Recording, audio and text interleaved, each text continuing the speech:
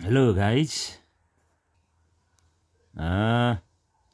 नमस्ते सबैलाई how are you doing today I am going to tell some model questions of LLB third year cyber law code number five two three so आज हामी LLB तेस्रो वर्ष third इयरको model model question अथवा cyber लजको पाँच सय तेत्तिस कोड नम्बर दुई हजार त्रिहत्तर सालमा सोधेको क्वेसन ओके सो यो यहाँ छ टाइम एक घन्टा तिस मिनट होइन? फुल मार्क्स पचास मार्कको हो यो।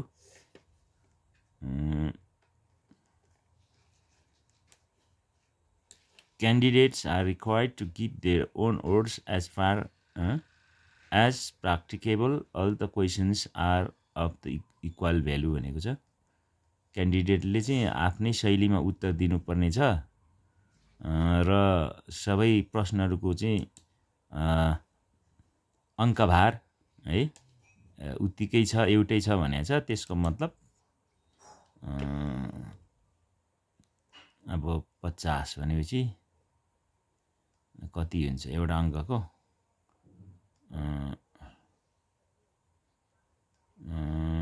नि कति? सोह्र सत्र अङ्क होला कि? अब क्वेसन हेरौँ है त यहाँ। तल। यहाँ एटम्प्ट एनी थ्री क्वे क्वेसन्स भनेको छ। यो तिनवटा मात्रै क्वेसन चाहिँ तपाईँले हामीले गर्न पर्छ। ओके। यहाँ पाँचवटा क्वेसन दिएको हुन्छ। पाँचवटा क्वेसन मध्येमा तिनवटा चाहिँ तपाईँले छानेर आफूलाई जुन सजिलो हुन्छ त्यो गर्ने। पहिलो नम्बरको क्वेसन यस्तो छ। What do mean by cyber law discuss briefly the nature and evolution of cyber law भनेको छ। अँ, यसको अर्थ चाहिँ साइबर कानुन भन्नाले साइबर कानुन भन्नाले के बुझ्नुहुन्छ? साइबर कानुनको प्रकृति र विकासबारे संक्षिप्त चर्चा गर्नुहोस् नेपालीमा त। What do mean by cyber law cyber कानुन भन्नाले के बुझ्नुहुन्छ? अथवा साइबर कानुन भनेको के हो? Discuss briefly the nature and evolution of cyber law cyber कानुनको प्रकृति र विकासबारे संक्षिप्त ब्रिफमा चर्चा गर्नुहोस् भनेको छ। अब सेकेन्ड क्वेसन छ। Explain the existing legal frameworks relating to electronic transaction in the Nepalese context. नेपालको सन्दर्भमा होइन विद्युतीय लेनदेन सम्बन्धी विद्यमान कानुनी रूपरेखाहरू व्याख्या गर्नुहोस् भनेको छ। है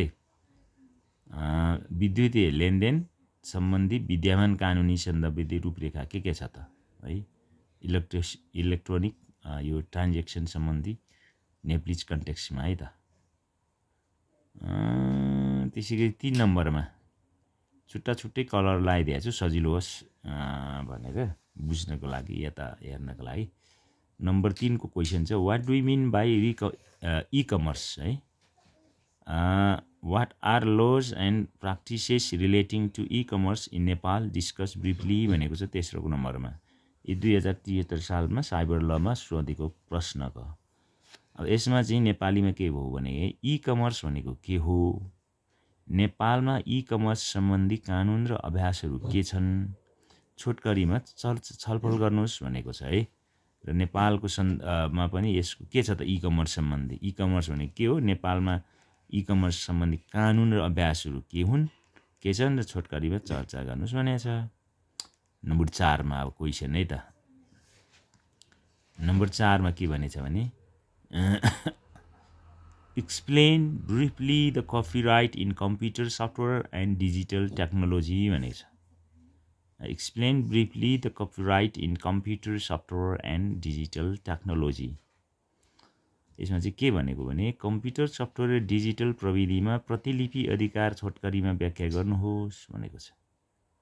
यो प्रतिलिपि कपिराइट सम्बन्धीको विषयमा यो कम्प्युटर सफ्टवेयर र डिजिटल टेक्नोलोजीको विषयमा चाहिँ के छ त? कपिराइट सम्बन्धी प्रतिलिपि अधिकार सम्बन्धी छोटकरीमा के के छ चर्चा गर्ने व्याख्या गर्ने। र पाँचमा चाहिँ यस्तो छोटो छोटो सर्ट नोट्सहरू दिएको हुन्छ।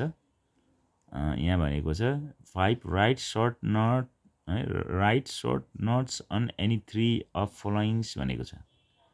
यसको अर्थ चाहिँ के हो भने यहाँ फाइभमा यहाँ चाहिँ A B C E C D E पाँचवटा फाइभ सर्ट नोट्सहरू यहाँ दिएको छ यो नोटमध्ये तिनवटा छानेर गर्न सकिन्छ है त सबै गर्न पर्दैन तिनवटा मात्रै भनेको छ a any three of followings भनेको छ होइन सो नम्बर एकमा एमा साइबर प्रपर्टी साइबर सम्पत्तिको विषयमा लेख्न सकिन्छ नम्बर बीमा इन्टरनेट जुरिस्टिक्सन इन नेपाल नेपालमा इन्टरनेट अधिकार क्षेत्र सम्बन्धी। नम्बर सीमा तपाईँको power and function of computers association of Nepal CAN. Computer association of Nepal क्यानको शक्ति र कार्यको विषयमा भनेको छ।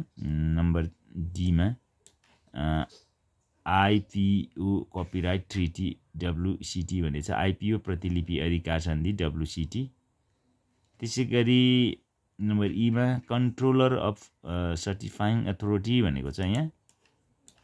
यसको अर्थ चाहिँ प्रमाणीकरण प्राधिकरणको नि प्रमाणीकरण प्राधिकरणको नियन्त्रक। सो यो पाँचवटा चाहिँ तपाईँको पोइन्टमा कुनै तिनवटाको चाहिँ हामीले एन्सर दिन सकिन्छ। ए पाँचवटा टोटल पाँचवटा क्वेसन छ। माथिकै तिनवटा गऱ्यो भने त्यो गर्न परेन। ए माथिको दुईवटा गरेर यो तलको तिनवटा बुँदा गर्ने हो भने त्यो तपाईँ गर्न सक्नुहुन्छ। It's up to you so के गर्नुहुन्छ? सो यो model question LLB third year cyber law पाँच सय तेत्तिस दुई हजार त्रिहत्तरको क्वेसन हो। आ पचास मार्कको फुल मार्क हो। सो अहिले साइबर ल सम्बन्धी खासै त्यति धेरै पुस्तकहरू भनौँ न। त्यो छैन। केही पुस्तकहरू प्रकाशनमा आएका छन्। सो खासै गाह्रो छैन। सजिलो छ। Thank you